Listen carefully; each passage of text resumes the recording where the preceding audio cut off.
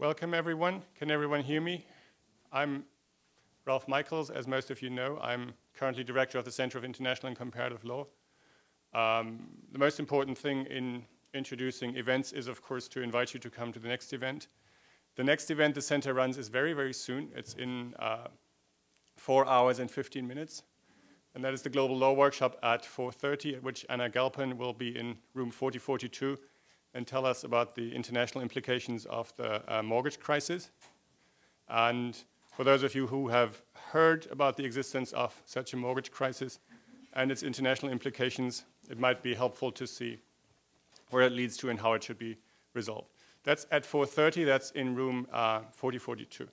What we have now, of course, is um, a really great presentation by uh, Laura that Scott will introduce. So I will introduce Scott and he will introduce her.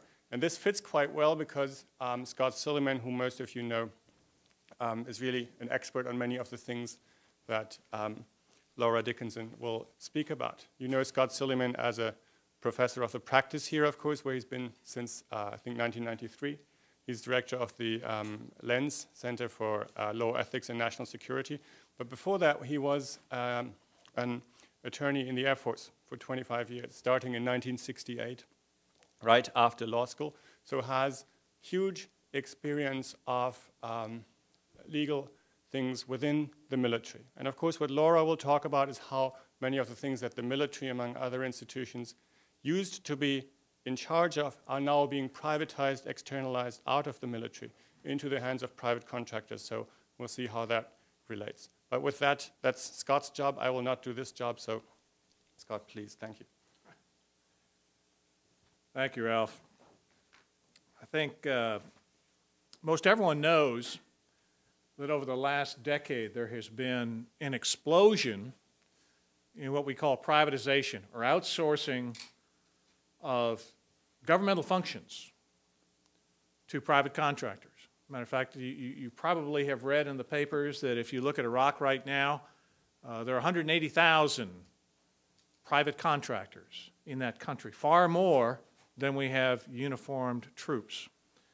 Uh, private contractors have been used for uh, trucking fuel, feeding military personnel, humanitarian aid, uh, but even approaching some of what we call the core military functions of security and, as you probably know from coverage of Abu Ghraib, even interrogation functions.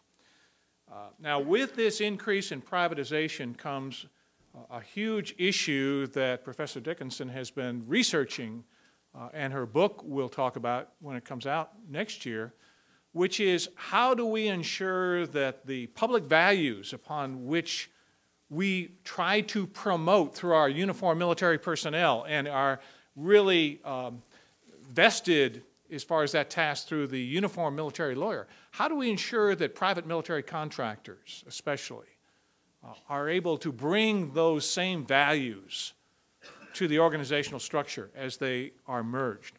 Uh, this is something that Professor Dickinson, again, has been researching, studying. Uh, she and I were talking earlier this morning. She has talked to a wide variety of judge advocates, especially those deployed in the field, which is the best source uh, of information about what's going on.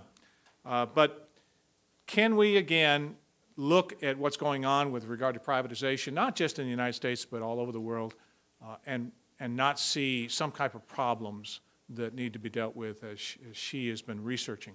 Let me tell you a little bit about her. She is a foundation professor of law at Arizona State University's Sandra Day O'Connor School of Law, where she directs the new Center of Transnational Public-Private Governance. She was a professor at the University of Connecticut School of Law from 2001 until 2008, uh, and also a visiting fellow and professor in the Law and Public Affairs program at Princeton in 2006 and 2007. She's a graduate of Harvard College, Yale Law School, and she served as a senior policy advisor to Harold Koh. Harold Koh is the dean of Yale Law School, but during the Clinton administration, uh, he was the Assistant Secretary of State for Democracy, Human Rights, and Labor.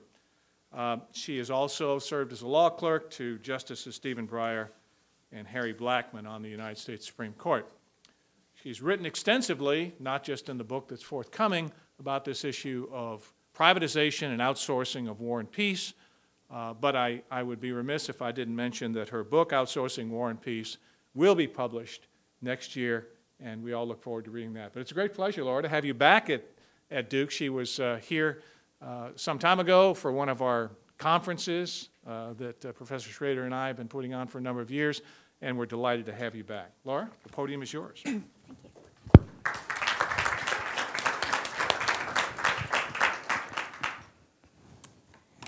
Thank you so much, Ralph, for inviting me and Scott for that introduction. It's really great to be here.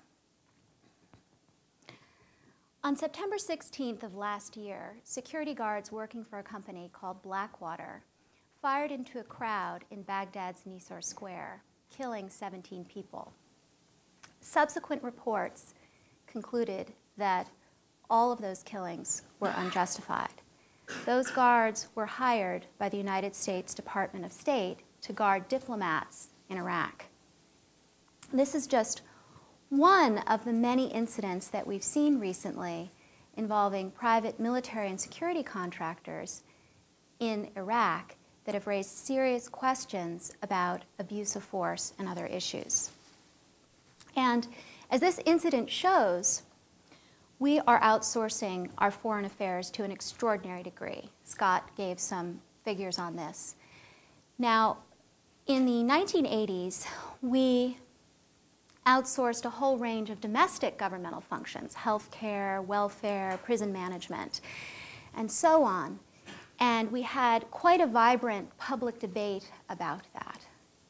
But in the early 1990s, this outsourcing and privatization trend hit the foreign policy agencies.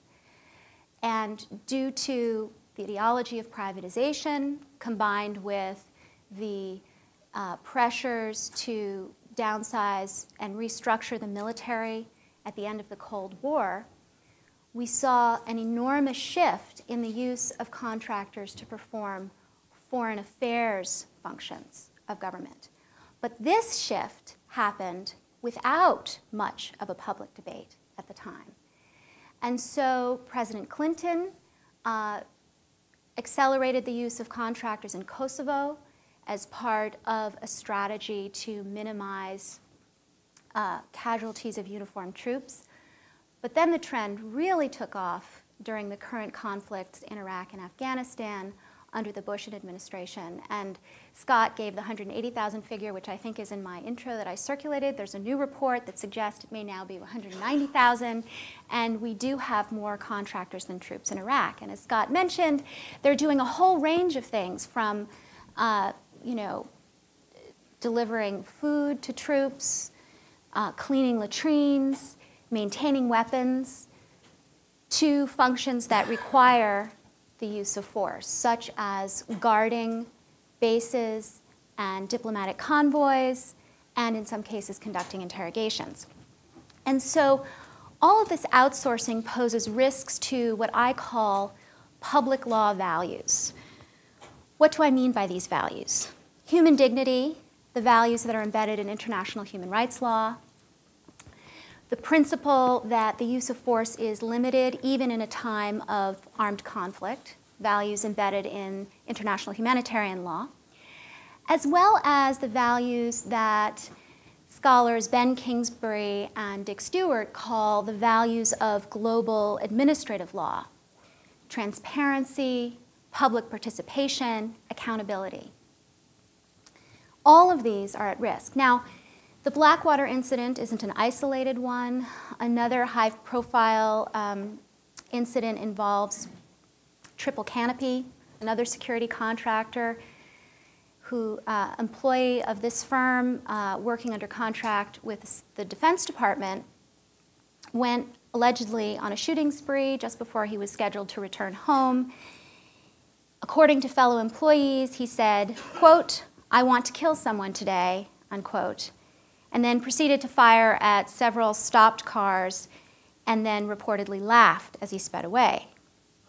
And it's also well known, as Scott pointed out, that um, contract interrogators and translators were implicated in the abuses at Abu Ghraib and in some cases reportedly supervised the troops uh, at Abu Ghraib.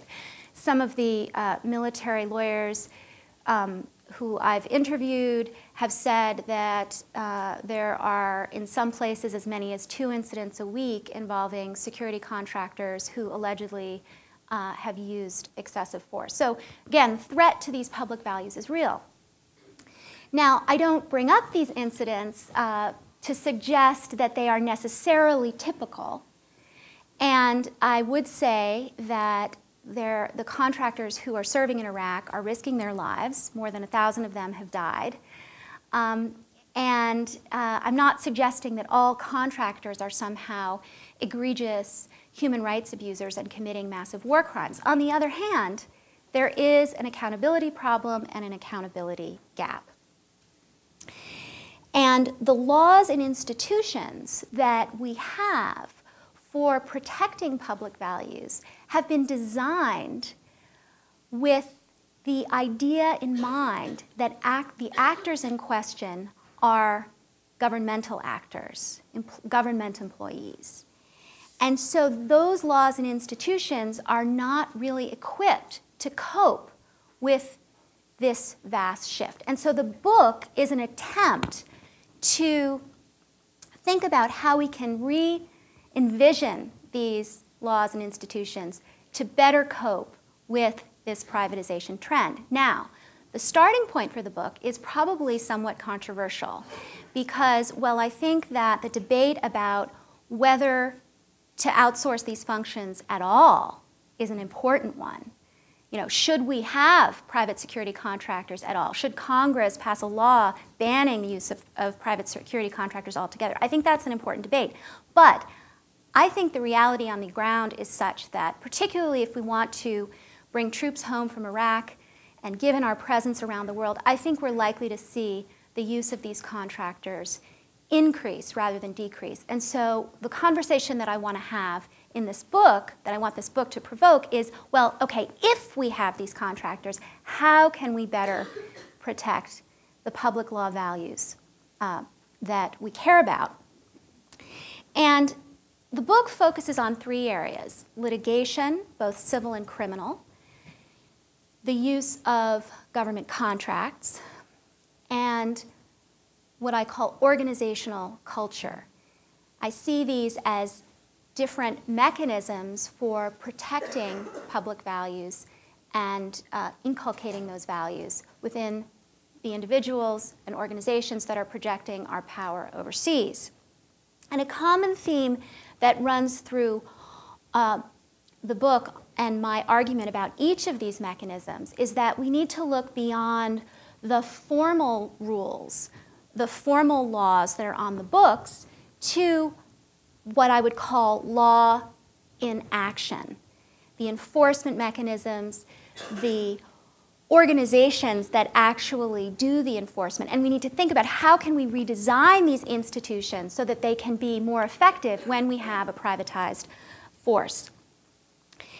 And so, for example, in the arena of government contracts, how might we think about writing the contracts with terms to protect public values and improve our oversight mechanism to do so? But what I want to talk about today is this third piece of the book the role of organizational culture. And what I'm going to do is to draw on some insights from organizational theory, as well as a series of more than 20 interviews that I conducted with uniformed military lawyers in the JAG Corps who recently returned from Iraq and Afghanistan and who uh, interacted with contractors there. And to look at the role that these lawyers play as accountability agents within the military who protect public values. And then I want to look at the impact of privatization on that role. And finally, whether there may be ways of inculcating those public values uh, within private military and security firms or through expanding the role of JAGs over those firms. So, first, I'm going to talk about organizational theory. Then, I'm going to explore the military's efforts in these regards. And then, finally, uh, look at how the rise of contractors intersects with this culture. Turning first to organizational theory.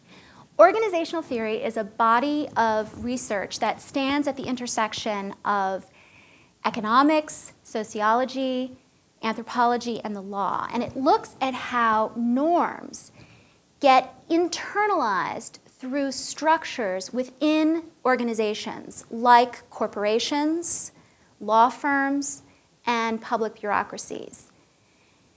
And in particular, this theory looks at what makes compliance units successful.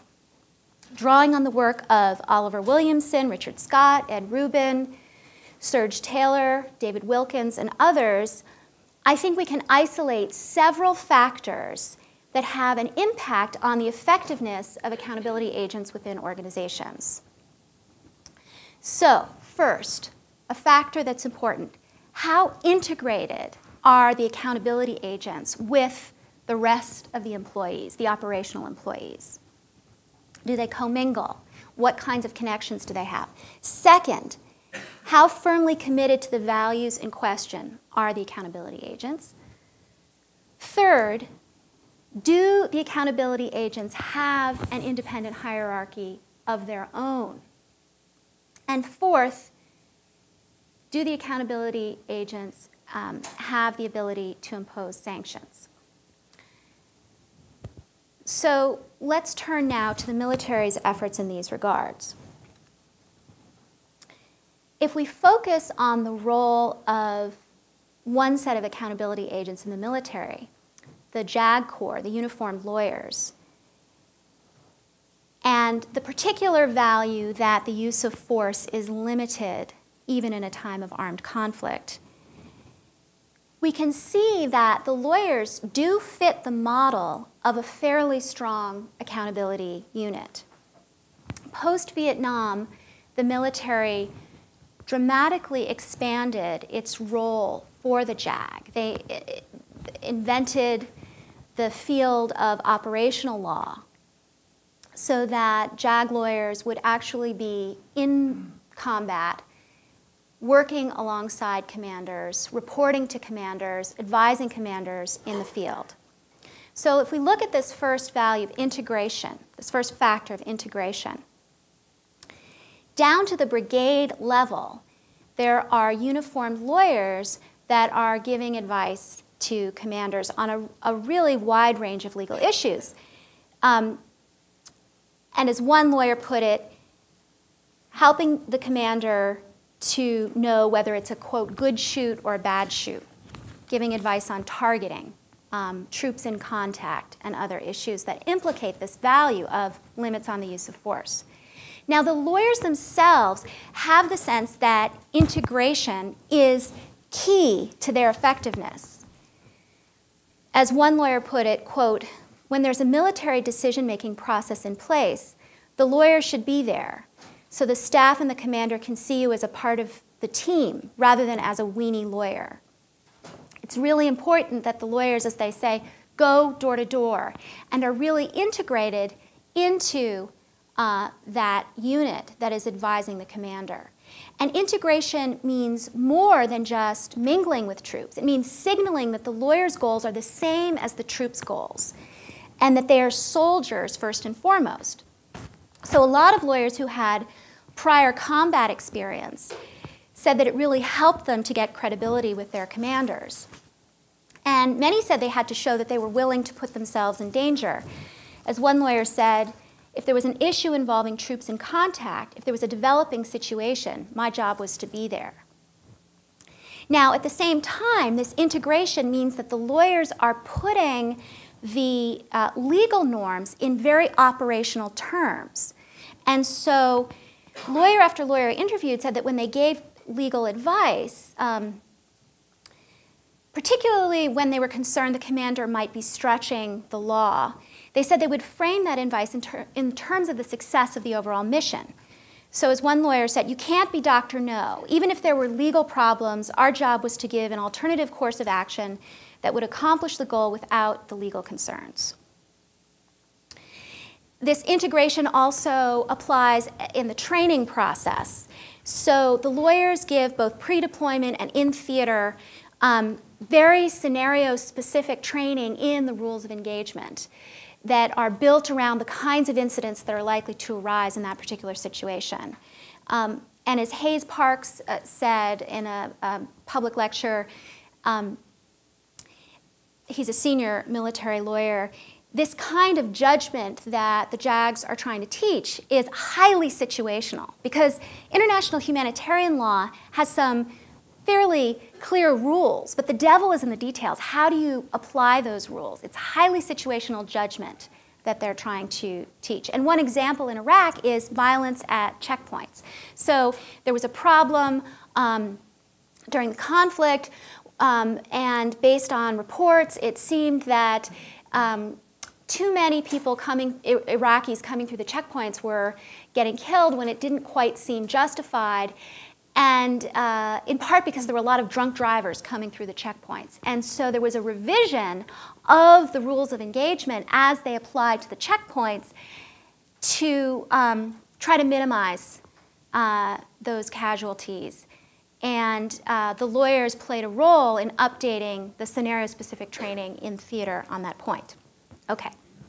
Turning to second factor, how firm are the beliefs? I think I have a lot of quotations in the paper, I, I was really struck um, from my interviews how strongly held uh, the beliefs of these lawyers are. Um, as one lawyer said, the linchpin that holds us together at the end of the day is that the rule of law has to exist where citizens believe in equal protection, fairness, equity, and justice. We make sure it exists within the military and through leverage within our own organization to other companies we're trying to help from demonstration. Turning to the third factor, is there an independent hierarchy? Now, I want to refine a little bit what I said in the paper. I don't mean to imply that the JAGs are deciding whether or not to prosecute an individual. Um, but uh, that, that's the commander's decision. But the JAGs have a chain of reporting of their own that is independent somewhat independent of the commander. So they work, the lawyers work for their commander.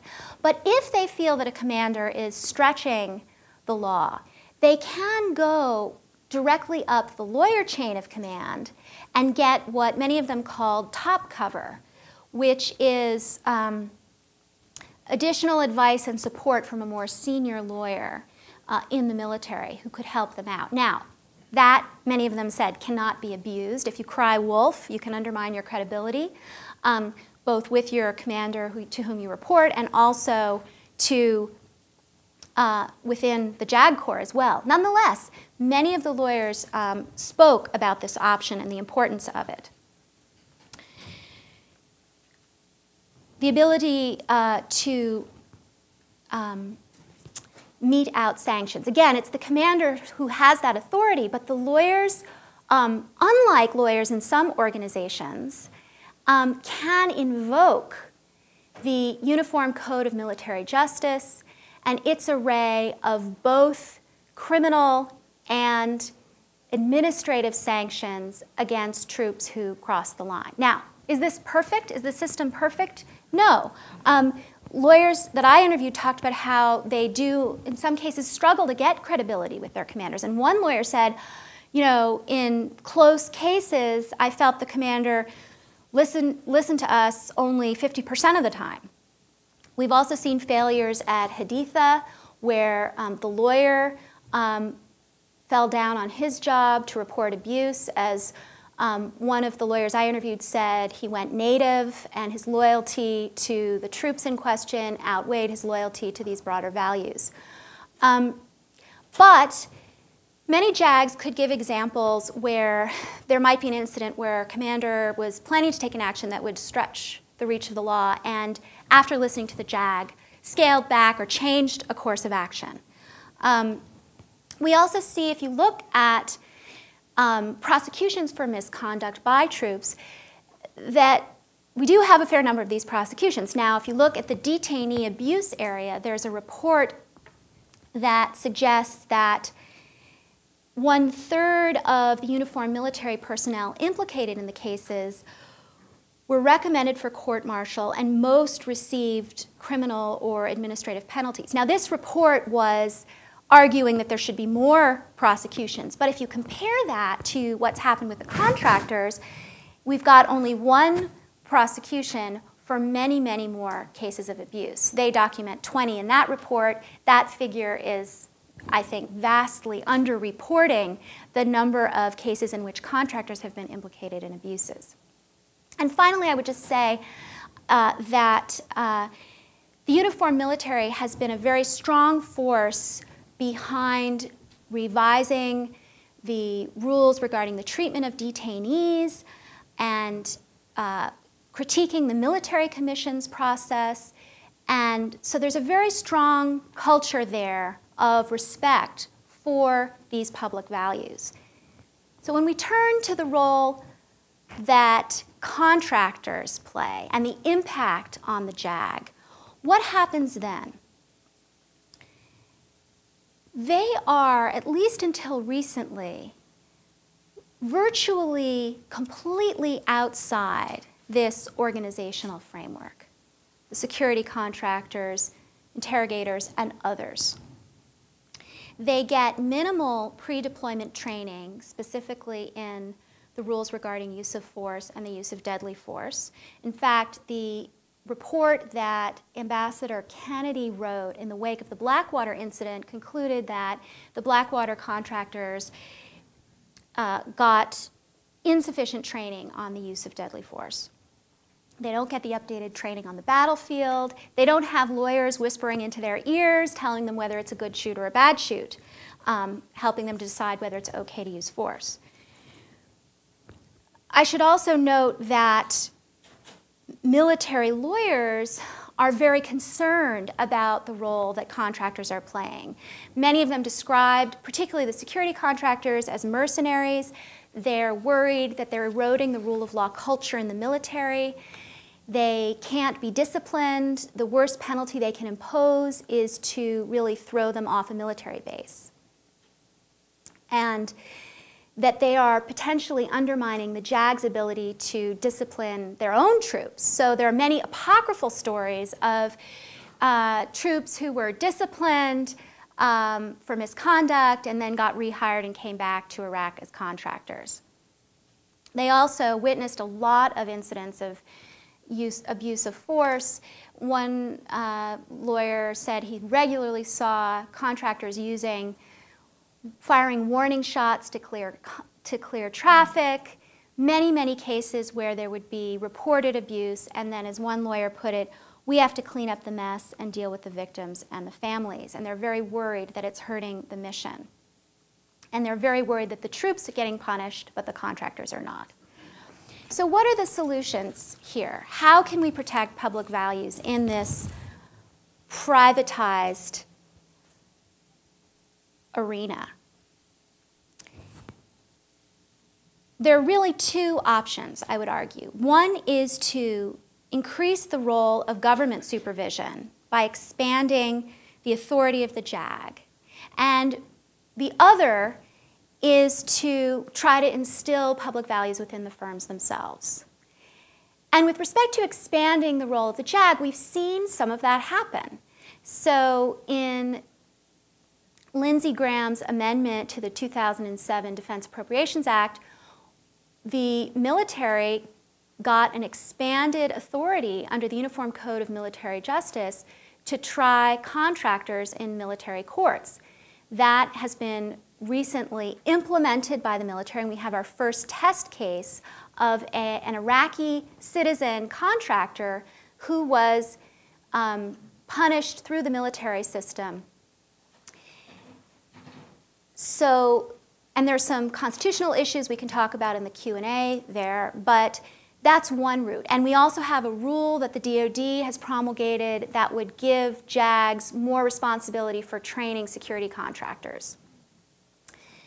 Another approach would be to, to give the contractor and the contract firms a greater set of organizational features to impose, essentially through legislation or to see whether they would do it voluntarily, organizational features within the firms that might enhance commitment to public values. So we could require better training, we could require that the firms have ombudspersons um, that are in theater, that are responsible for doing updated in theater training and um, receiving reports of misconduct and communicating those reports to the appropriate authorities. Um, we could also try to expand the role for some of the industry associations like the International Peace Operations Association and their efforts to professionalize some of the firms. Um, they try to ensure that their members adhere to codes of conduct. We could, er, we could, we could require membership in IPOA before granting a contract or require IPOA um, to, to actually give more teeth to their professionalization requirements. I should note that you know, this is an industry association. Many people have said that the fact that its members have to adhere to a code of conduct is pretty toothless. And while I think it is fairly weak, it's not completely toothless because Blackwater, in fact, withdrew from its IPOA membership after the organization launched an internal investigation in the wake of the Blackwater shooting. In the end, I think that when we use organizational theory, we can see just how profoundly the outsourcing trend does affect public values, and it also points the way towards some solutions. So thank you, and I look forward to your questions.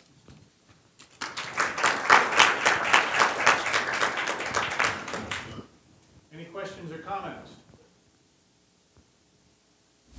Could part of the problem be like just lack of competition if it's just, you know, Blackwater and the, the three canopies or whatever, so there's not really much of an alternative to go to another contractor? Right, could the market solve this problem? You know, it's interesting, I talked to, I've talked to some contract, contractors and lawyers at contract firms, not as many as uh, troops, but one of the problems with just relying on the market is that the bidding process is such that the contract goes to the lower, lowest bidder. And for the contractors who do have the greater training programs and some of the organizational features that I'm talking about, they're worried about losing out. And it's interesting because a number of the contractors are in favor of enhanced regulation. Um, they, the ones who are often regarded as being more human rights protecting, um, they want the regulation because they feel that the bidding process is hurting them um, and that a mandated requirement such as certain amount of training or having an ombudsperson or vetting employees in a certain way would actually um, help them.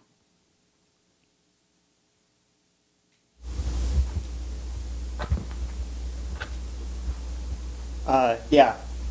If uh, JAG works for uniformed military personnel, is it possible that we could simply transfer that system directly over to the contractor, give them JAG officers, and do the exact same thing that we do with uniformed personnel, except do it with contractors too? Well, what I think that's a really interesting point. What does that actually mean? Let's let's look at it. So by expanding the scope of the Uniform Code of Military Justice, the commanders and the JAGs working for them have greater authority to punish and prosecute contractors within the military system. So that gives them, in a sense, more authority of that kind. And uh, I think that while there are some serious constitutional concerns there, there's a trilogy of cases from um, the 50s and 60s uh, where the Supreme Court looked very, was very, very concerned about civilians being tried in military courts.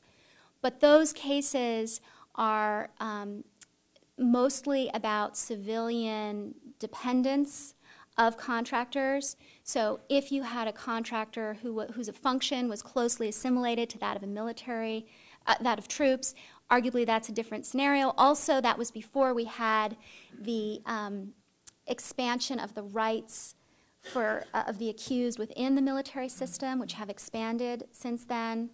Uh, so there, I think there is an argument, though I would note that the case that we have with the Iraqi national, or actually his joint Iraqi and Canadian citizen uh, citizenship, um, who's been tried in the military system or has been punished in the military system, I think that's a bad test case because I think there's a stronger argument if it's a U.S. citizen. Um, but so that's one way of doing it. But that's not the full range of JAG oversight and supervision.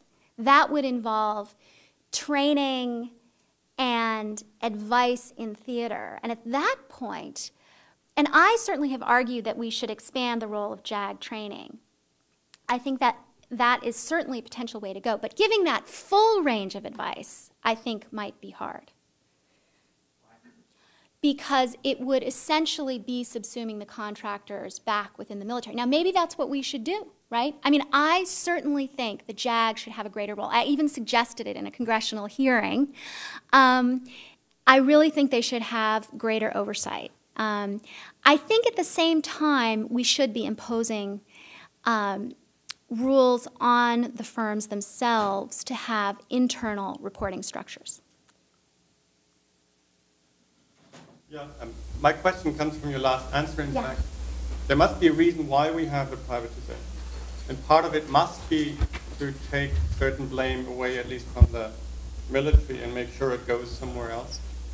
Uh, and some of it may have to do with other ideas of uh, shifting responsibilities and accountabilities. So to the extent that you say you shift the public values and accountability over to the privatized sector, either through expanding um, JAG jurisdiction or through um, enriching other modes of uh, the law, are you not taking away any potential uh, advantages uh, that privatization might have had or interests that might have led to privatization and thereby not really solve uh, the problem that led to the privatization in the first place? Or, or rather, reinstall the problem that led to privatization, whatever that exact problem was in the beginning.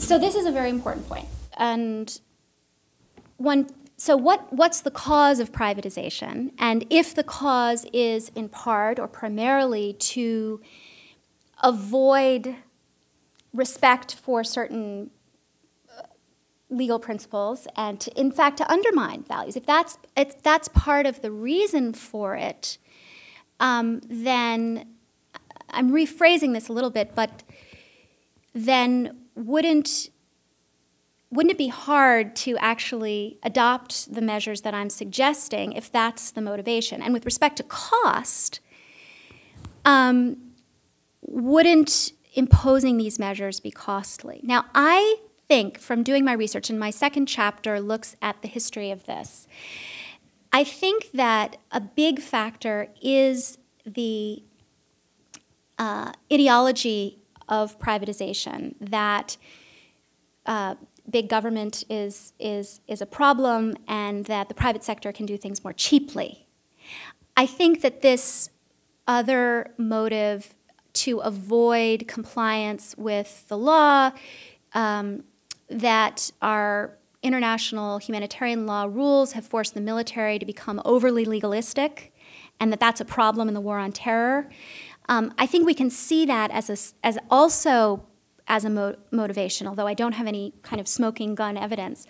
But I, I do think that there are enough people within the Bush administration, um, within the contract industry, who want regulation.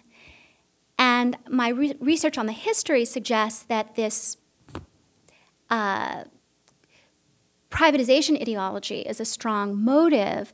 That I think that um, I think there is promise toward adopting some of these reforms. That is to say, I think that cutting back on government waste is, a, is one of the strong motives for privatization. And so there's not an objection to injecting public values back in to the equation through greater regulation of the private sector. Now, The question is then when, if you do that, will the costs be so great as to not make it worth it? Are all the cost savings in flouting of international law and uh, weakening public values? I don't think we know the answer to that. The contractors themselves don't think that's true. Um, but I do think we're in a regulatory moment where we can impose these requirements and then we can see. Does that answer your question?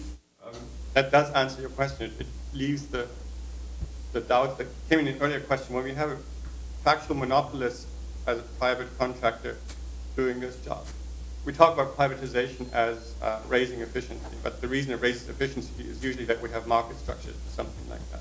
I don't know enough about Blackwater. It seems to me that actual market structures were not really at work.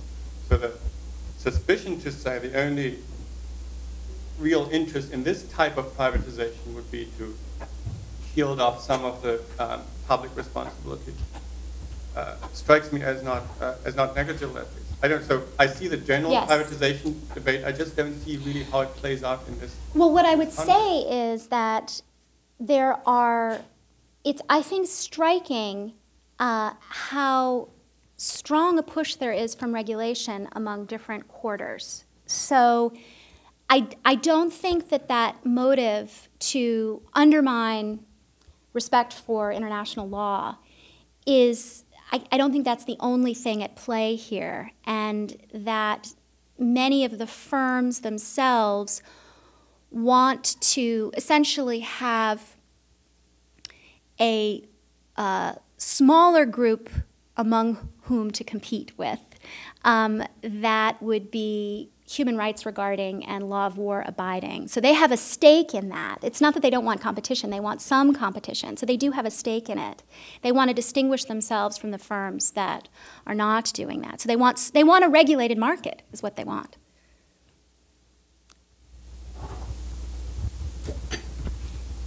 Sorry, uh, going back to this, Yeah. uh, and the efficiencies of privatization, are we actually saving money? Because We I don't know. Yeah, we really don't know. It's, so the Senate did pass a provision that creates a commission to study this, and this is a core question, right? Nobody knows. So here we are. It's, and this is why I, I say it's ideology, right? Because it's the belief that this will cut costs, and we don't know whether it actually does. And it's a spillover from the domestic debate. And so the Senate did um, uh, create this commission, and one of the things that's going to be studied is where the cost savings actually comes from, and I think that's critical. But at the same time, right, we can impo- seek to impose requirements that protect these public values.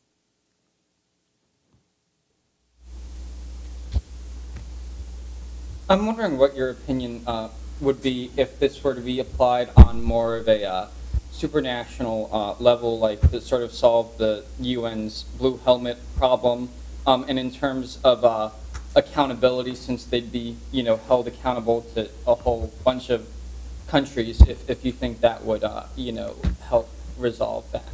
Yes, and there's an, uh, an initiative of the Swiss government, a joint initiative between the Swiss government and the uh, Red Cross, the International Red Cross, to try to get countries to agree to a set of principles which interpret existing humanitarian law that would be best practices for contracting. And I think this is a very important initiative. I've been involved in it. I- think it has to happen at the same time that regulation happens at the domestic level.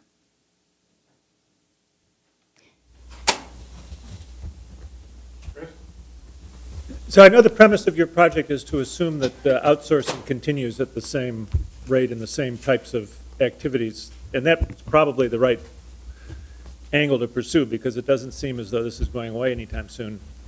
That said, listening to your talk, it seems to me that the, the greatest tension between public law values and privatization occurs in just a subset of outsourcing activities, namely those activities where we're asking outfits like Blackwater to interact with the enemy or with civilians with arms in their hands. Just the sort of activity that the U.S. military has spent decades learning how to train disciplined forces to approach those same problems. So, is it at all feasible to think that a revision of the uh, current practices uh, might include restricting the activities that can be outsourced? Let outsourcing continue to the extent that public policy and efficiency seems to dictate with respect to uh, preparing food, supplying food, uh, uh, driving uh, vehicles, uh, perhaps even maintaining some uh, camp security. I don't, I don't know. But restrict, restrict to the military the activities that involve active and potentially dangerous interaction with the enemy or with civilian populations with arms in their hands. So, you know, you make a very important point. The, the risks to the kinds of public values that I'm talking about are greatest where the contractors are authorized to use force, particularly with respect to security and interrogation. And so, why not think about just eliminating security and interrogation contractors? Um, it's hard to get a good, uh, firm number on how many interrogators and uh, and security contractors we actually have in Iraq and Afghanistan. The DoD has a 10,000 figure, roughly 10,000. Um, it's not a complete tally because there have been huge challenges in actually counting the contractors. Other estimates suggest there may be as many as 30,000. Um, I would say two things. First, from a pragmatic point of view, I think it would be hard um, to do that and bring back troops from Iraq and engage in the kind of nation building that we heard only yesterday the military is increasingly going to be doing. I just think that would be challenging. Second, uh, the risks to public values don't come only from those who are who have the weapons. They come predominantly there, but if you look at the rape case involving the KBR employee who was allegedly raped by her fellow employees, um, there are a number of other abusive force incidents that can arise um, in a conflict setting that go beyond um, the uh, those contractors who are authorized to use force. So. I have one more question. Uh, so you talk about public values that get lost in privatization, but the areas of private law that you sometimes invoke, contract torts, etc., also have their own sets of values and policies instilled in them. Um, so is there something specifically public about the values that you're looking for, or is it not just the problem that privatization leads to immunizing certain actors from all kinds of values and accountabilities, whether they be public or um, uh, or private? And combined with that is the problem one of organization, as you invoked earlier, much more than actual, actually the lack of uh, values involved in a certain set of uh, rules and institutions. Okay, well, let me see. The, the first part of the question, um, what makes these public values, is a really important one. Um, you know, I come to this as a scholar of public international law. So, what I'm doing is I'm taking the values that I know from public international law, as well as the values from global administrative law, and looking at the impact of outsourcing on those values. But um, and really, essentially, what I'm saying is that we can have public values even if we have privatized actors. And, but the fact is that the public values that I'm looking at got constructed from a regime that sees those values as protections that we need to have against governmental misconduct.